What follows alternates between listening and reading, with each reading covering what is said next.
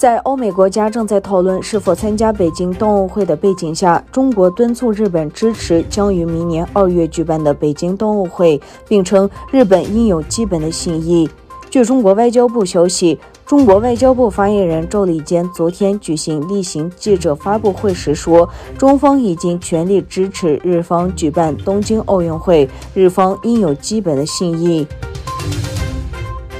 在非洲南部发现新冠病毒危险变种后，欧盟计划停止来自该地区的航班。欧盟委员会主席沃尔苏拉·冯德莱恩在他的推特账户上发表声明，指出，由于对该病毒新变种的担忧，欧盟委员会将与成员国密切协调，提议暂停来自南部非洲的航班。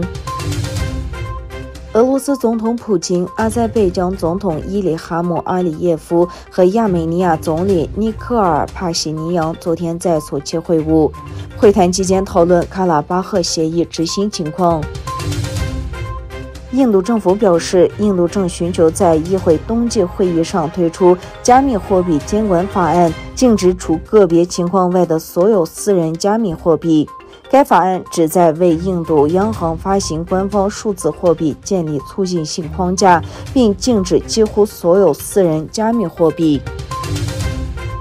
日本和俄罗斯同意继续就两国之间战后的和平条约进行谈判。日本外相林芳与俄罗斯外长拉夫罗夫通电话时，讨论了双边和地区局势。电话会晤期间，两位部长同意继续就战后和平协议进行谈判。会晤期间，两人讨论了包括千岛地区的经济活动状况在内的许多双边问题。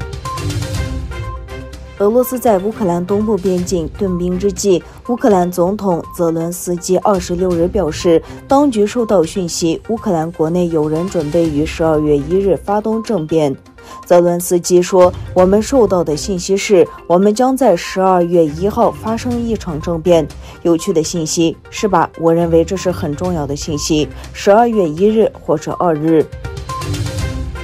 土耳其大国民议会议长穆斯塔法。上托普呼吁建立统一战线，反对世界不同地区对穆斯林的偏见和歧视。上托普说：“对于罗兴亚穆斯林来说，安全、自愿和永久的返回缅甸，结束对北塞浦路斯土耳其共和国的围困，保护色雷斯西部穆斯林少数民族和维吾尔人的基本权利和自由也很重要。”